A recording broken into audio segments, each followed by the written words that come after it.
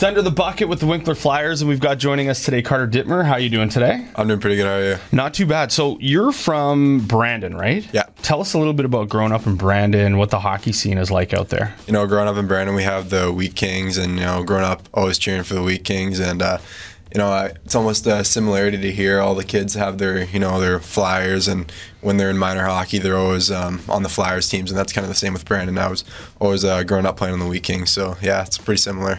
Did you get to meet any of like uh, the, I guess, legendary kind of Wheat Kings, like like well, Eric Fehr actually being one of them, Yeah, yeah. or guys like that? Yeah, you know, obviously, um, when I was growing up, they had the Memorial Cup run. Um, when they lost to Windsor in the finals, I was at all those games, you know, with uh, Taylor Hall and Travis Hamonic.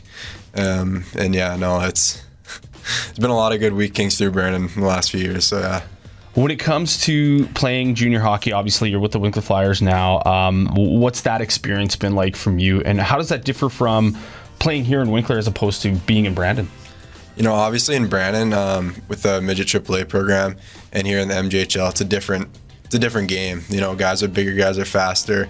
It's uh, it, it was uh, hard for me to kind of adjust to the junior style of play, but you know, now that we're going here in the year, I feel like I've adjusted pretty well, and uh, excited for the last half of the year.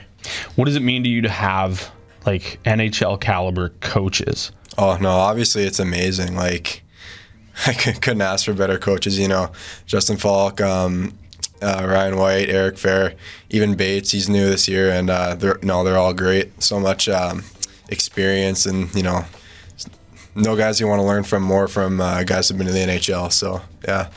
Is that something that you you take with you and like you you get to kind of share with friends back home? Like this is this is my coaching staff here. Like how cool is that? Yeah, no, obviously they're all kind of like like wow, it's a MJHL team and you guys got three NHL coaches on your bench and yeah, no, it's pretty crazy. That's awesome. Uh, anything that you enjoyed the most so far this season, as far as like road trips or anything like that?